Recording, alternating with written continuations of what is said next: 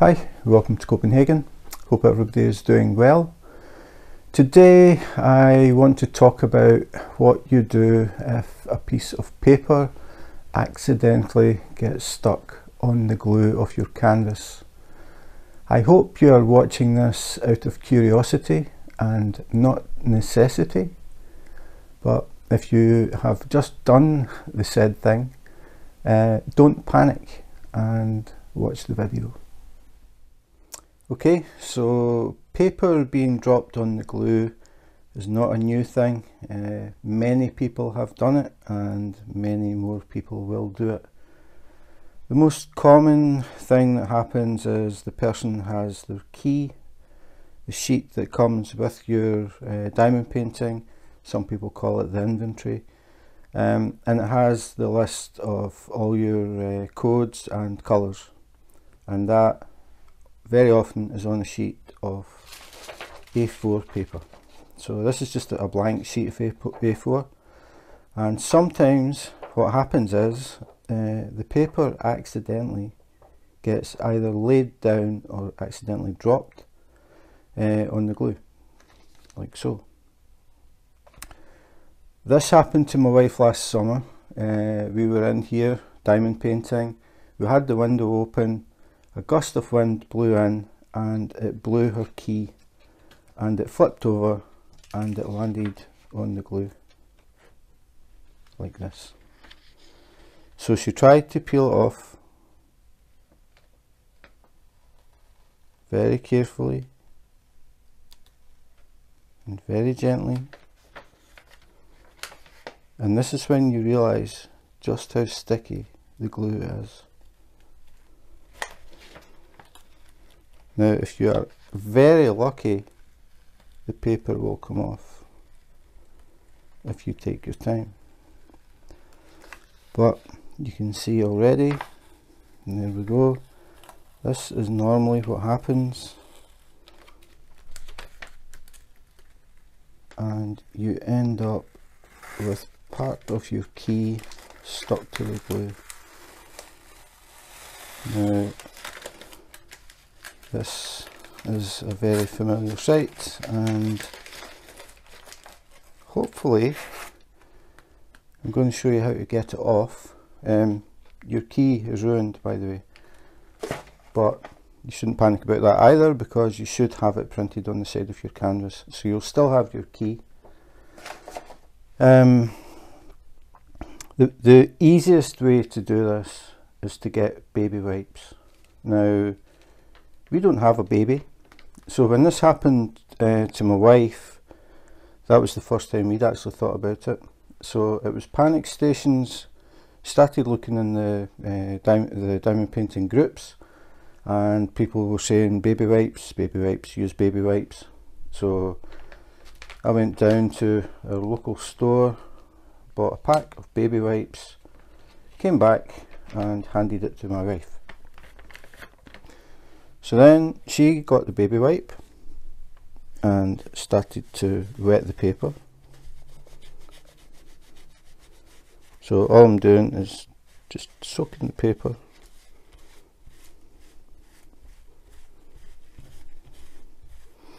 Now the thing is you don't want to really press hard on the, the glue because you'll start to move the sheet of glue and that'll cause problems itself. So all I'm doing is just wetting the paper.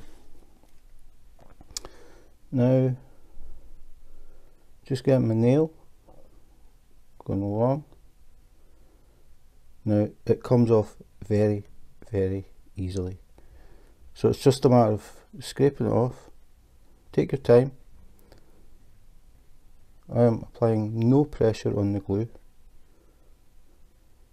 So you can see the, paper is just wet. So it's just a matter of using your nail, working it towards the edge. Just make sure you get everything. If you feel any of the paper is a bit dry, just wet it again. So this isn't damaging the glue at all. I'm just scraping it off to the side.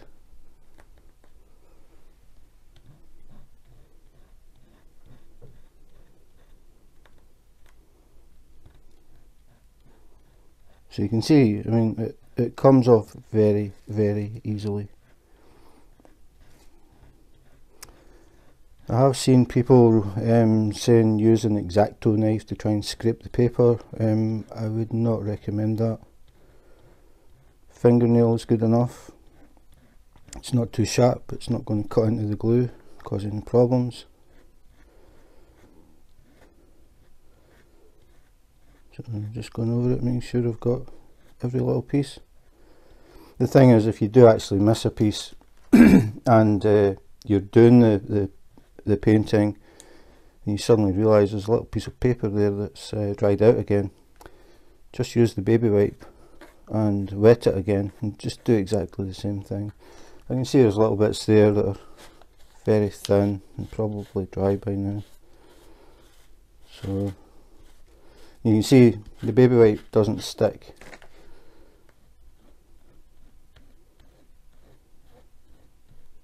So just going over it again.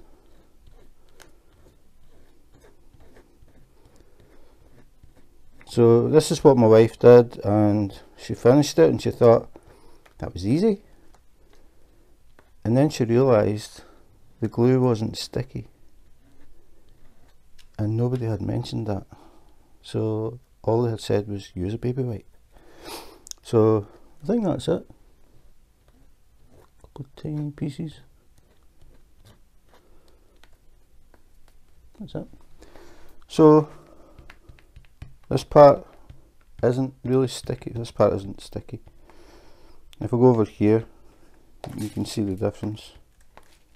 Now it's starting to get sticky. What's happening is um, the liquid is evaporating off. Once that liquid has evaporated, the glue will be back to normal. It'll be as sticky as it was. Um, so my wife was panicking, thinking she'd ruined the glue. But um, a lot of people said use baby wipes, but nobody thought to say when you first do it, uh, the paper will lose its stickiness, uh, the glue will lose its stickiness.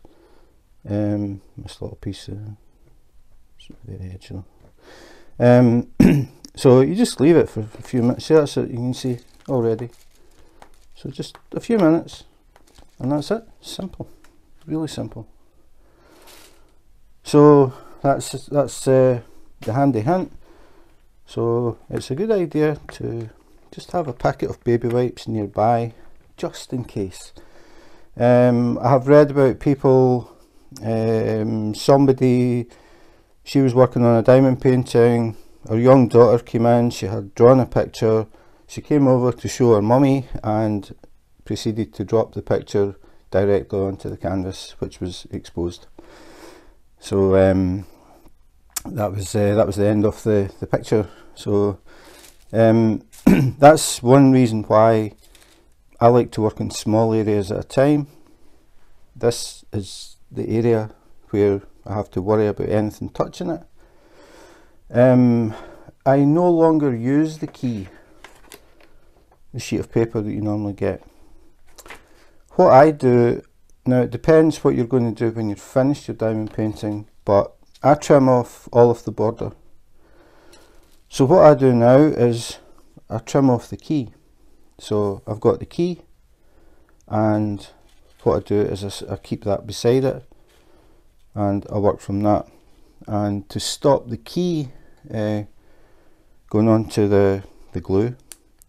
I use a cover minder, which is something like this. They all work the same way. Two magnets. You put one magnet underneath your canvas. You put one magnet on top. And then that holds it in place. Now I would use two, I would use one either end just to keep it still. And that stops it moving. You can use exactly the same principle with your A4 sheet of paper if you just want to keep using that. So instead of um, cutting the, the key, we just pretend that this is the key. So I would have the key over here and put the magnet underneath.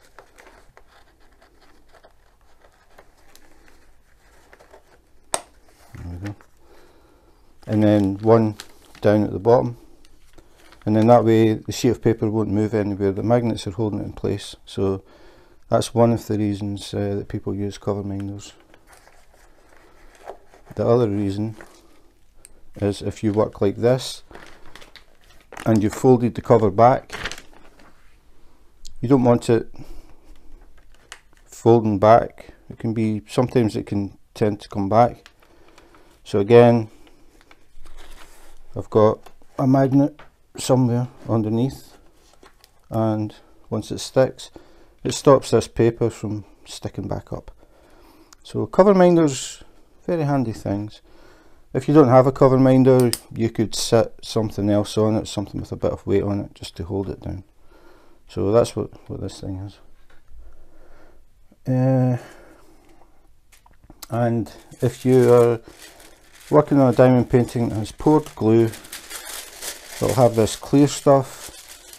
I absolutely hate this stuff. Um, the first thing that I do is I take off the original cover. It doesn't matter if it's this or if it's this and I use uh, release paper but I'm going to do another video in five minutes about release paper because something that you may not know is not all release paper is the same so that will be coming up in the next video so uh, if you did watch this video because you were in a blind panic because you had dropped paper on the glue, hopefully I have alleviated your worries. It is a very very simple fix. Simply use a baby wipe and get the paper wet and you just use your fingernail and just gently um, scrape it off but don't don't press because you could uh, pull the glue if it's the double-sided glue um, because all it is is a big sheet of double-sided tape. If you apply a lot of pressure on it and pull it you'll uh, tear the glue and then you're going to cause uh, a lot more problems than you had initially. So just take your time, soak the paper with the baby wipe and then just gently wipe off to the edge and just wait a few minutes and the glue will be as sticky as new and you can carry on with your diamond painting. Um, I would recommend using something to hold the key down. Don't just sit it on the table beside you um, because again from experience my wife had the key laying on the, the table, it was nowhere near the glue. Gust of wind blew in, flipped it over and it landed on the glue. So ever since then we've used cover minders to hold it down. So that's it. Hopefully um, you found it helpful. Thanks for watching.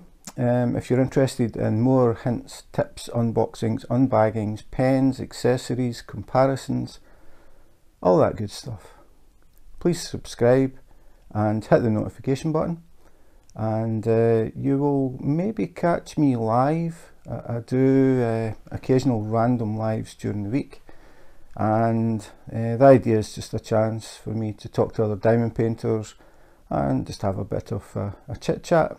Uh, I'm always interested in meeting people around the world and getting to know them. And uh, I also do a weekly live with my wife and uh, it's actually tonight, today's Saturday. So it's every Saturday unless something crops up um, between 8pm and 9pm Copenhagen time, which is Central European time. And uh, we sometimes do little quizzes, uh, which usually gets a bit of a laugh. So if you're interested in joining us, as I said, please subscribe, hit the notifications, and uh, you never know, you could be joining us in the quiz. So that's it, and I am now going to set up for another video about um, release paper. Um, you may think that release paper is release paper. It is not the case. You have to be uh, careful which kind of release paper you get and how you use it. So in the meantime, take care, be safe and wash your hands.